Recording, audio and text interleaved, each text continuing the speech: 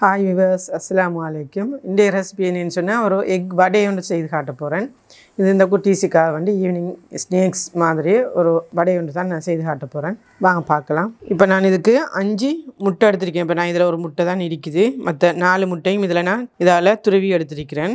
இப்போ அடுத்து நான் துருவி காட்ட போகிறேன் ஏற்கனவே நாலு முட்டை நான் துருவி இந்த மாதிரி வச்சிருக்கிறேன்.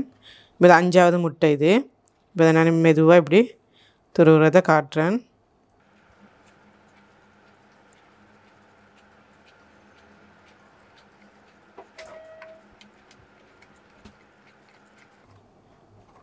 உடையாமல் மெதுவாக திருவினிங்கன்னா சரி.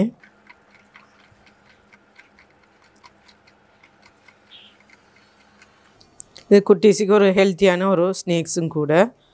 இப்போ அஞ்சு முட்டையை நான் துருவி இந்த மாதிரி வச்சிருக்கிறேன். இதுக்கு தேவையான பொருட்கள் மீடியம் சைஸ் ரெண்டு அனியன்ஸ் எடுத்திருக்கிறேன். கொத்தமல்லி கொஞ்சம் எடுத்திருக்கிறேன். இப்போ காரத்துக்கு ஏற்ற மாதிரி இதால் ரெண்டு சில்லி பவுடர் எடுத்துருக்கிறேன் சீரகம் இதால் உண்டு ஒரு டீஸ்பூன் அளவு ஃபுல்லாக எடுத்துருக்கிறேன் பெருஞ்சீரகம் இதால் ஒரு அரைவாசி அளவுக்கு எடுக்கிறேன்.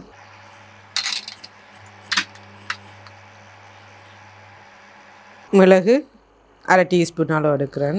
ஒரு சின்ன சில்லி எடுத்துருக்கிறேன் சின்னதாக கட் பண்ணி கறிவேப்பிலை ஓரளவுக்கு எடுத்திருக்கிறேன் இதுக்கு உப்பு தேவையான அளவு.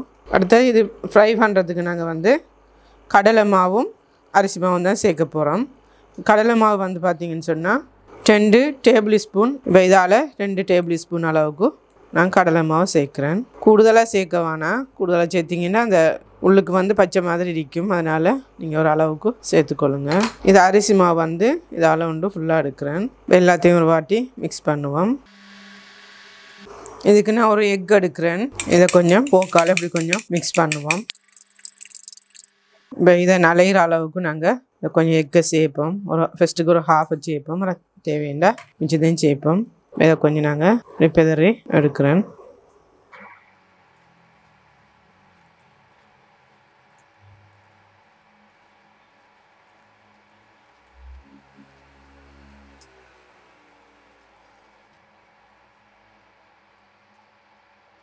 இந்த மாதிரி உருண்டைகளாக பிடிக்கிற மாதிரி வந்துச்சுன்னா சரி கூடுதலாக சேர்க்குவானா? இந்த மாதிரி உருண்டைகளாக வந்துச்சுன்னா சரி. இப்போ நாங்கள் உப்பு டேஸ்ட்டை பார்ப்போம். எல்லாம் பெர்ஃபெக்டாக இருக்குது. நல்லா காரம் அந்த உப்பு டேஸ்ட் எல்லாமே டேஸ்ட்டாக இருக்குது. இந்த மாதிரி தட்டி எடுத்துக்கொள்ளணும் சைஸுக்கு ஏற்ற மாதிரி. இந்த மாதிரி தட்டி எடுத்துக்கொள்ளணும். எண்ணெயில் போடும்போது பிரியாமல் பார்த்துக்கொள்ளணும். பிரியுமாமண்டா இன்னும் கொஞ்சம் நீங்கள் எக்கை வந்து சேர்க்கலாம். ஒரு ஃப்ரை ஃபேன் ஒன்று வச்சுருக்கிறேன். மீடியம் ஹீட்டில் வச்சுக்கொள்ளணும். கருகாமல் இருக்கும் அப்போ தான் இப்போ இதுக்கு தேவையான ஃப்ரை பண்ணுறது தேவையான ஆயில்களை நான் சேர்க்குறேன். மீடியம் ஹீட்லேயே வச்சுக்கொண்டிங்கன்னா நல்லா அப்படி கருகி போயிடும். இப்போ இது நாளையும் நான் இதில் சேர்க்குறேன் ஃப்ரை பண்ணுறதுக்கு இந்த மாதிரி தட்டியாக தட்டி கொள்ளணும்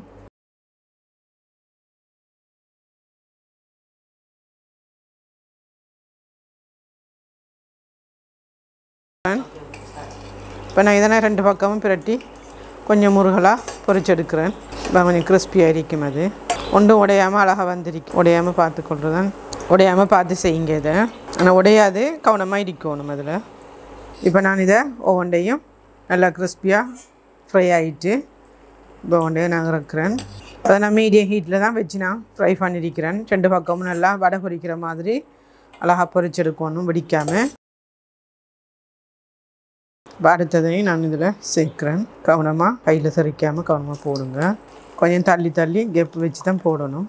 இது ஒரு ஈவினிங் ஸ்நாக்ஸ் மாதிரி தான் நான் இப்போ செய்கிறேன் ஈவினிங் டைமுக்கும் இது வந்து ப்ரெட்டு கூட நாம் செய்து சாப்பிடலாம். ப்ரெட்டில் ப்ரெட்டும் குட்டீஸ் வந்து ப்ரெட்டும் விரும்புவாங்க. அதுக்கு சாண்ட்விச் மாக்கி இதை வச்சு குட்டீஸுக்கு நாங்கள் செய்து கொடுக்கலாம். அதையும் நான் ஒரு வித்தியாசமாக செய்து காட்டுறேன்.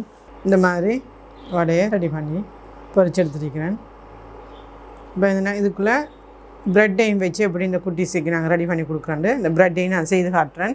இப்போ இதில் ஒரு பேன் அண்டு வச்சுருக்கிறேன் ஹீட் ஆகிட்டு இருக்குது இப்போ பேன் ஹீட் ஆகிட்டுருக்குது இப்போ மீடியம் ஹீட்லேயே வச்சுக்கொள்ளுங்க இப்போ இதில் நான் கொஞ்சம் மாஞ்சரினை சேர்க்குறேன். இப்போ இந்த ப்ரெட்டை வந்து இப்போ இதுக்குள்ளே ஒரு எக் எடுத்திருக்கிறேன். இதுக்கு கொஞ்சம் பெப்பர் கொஞ்சம் சேர்ப்போம். கொஞ்சம் ஷோல்ட் கொஞ்சம் ஷோல்ட் கொஞ்சம் சேர்க்குறேன். பெப்பரும் சோல்ட்டையும் கொஞ்சம் மிக்ஸ் பண்ணிவிட்டு இந்த ப்ரெட்டை வந்து இதுக்குள்ளே டிக் பண்ணி இந்த மாதிரி எடுத்துக்கொள்ளுங்க. இதை இப்போ இந்த மாதிரி நான் இதில் இந்த பேனில் கொஞ்சம் சுடு வர்றதுக்காக வைக்கிறேன். இப்போ நான் அடுத்த பக்கம் பிரட்டி போடுறேன். எங்களோட பிள்ளைகளுக்கு இப்படி செய்து கொடுத்தா நல்லா விரும்பி சாப்பிடுவாங்க. நான் அடிக்கடி வீட்டை செய்கிறது தான் உங்களுக்கும் உங்களோட குட்டீஸ்களுக்கு நீங்கள் இப்படி செய்து கொடுங்க. ஒரு பிரேக்ஃபாஸ்ட்டுக்கும் கூட இது நல்ல ஒரு விரும்பி பிள்ளைகள் சாப்பிடக்கூடிய ஒரு பிரேக்ஃபாஸ்ட்டும் கூட.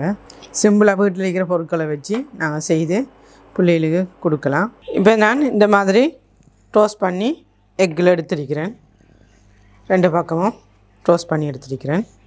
இப்போ இதை வந்து இந்த மாதிரி வடையை வந்து இப்போ இந்த மாதிரி ஒரு ப்ரெட்டை வச்சு சாண்ட்விச் மாதிரி கட் பண்ணி ஆரோக்கியமான ஒரு ஹெல் ஒரு பிரேக்ஃபாஸ்ட் தான் இது குட்டீஸுக்கு. பொருளுக்கெலாம் நல்லா வந்து நல்லா பெர்ஃபெக்டாக வந்திருக்குது. இப்படியும் நீங்கள் பிள்ளைகளுக்கு ரெடி பண்ணி கொடுக்கலாம். ஒரு பிரேக்ஃபாஸ்ட்டுக்கு அடுத்தது வந்து ஒரு ஸ்கூலுக்கு போகிற பிள்ளைகளுக்கு ஒரு லஞ்ச் பாக்ஸில் போட்டு ஒரு பிரேக்ஃபாஸ்ட்டாகவும் நீங்கள் இதை கொடுக்கலாம். இந்த மாதிரி தான் நான் ரெடி பண்ணியிருக்கிறேன். இப்படி நீங்கள் உங்களோட குட்டி செலவு செய்து கொடுங்க. இந்த வீடியோ பிடிச்சிருந்தா லைக் பண்ணுங்கள் ஷேர் பண்ணுங்கள் சப்ஸ்கிரைப் பண்ணுங்கள் இன்னொரு வீடியோவில் சந்திப்போம். அஸ்லாம் அலைக்கும்.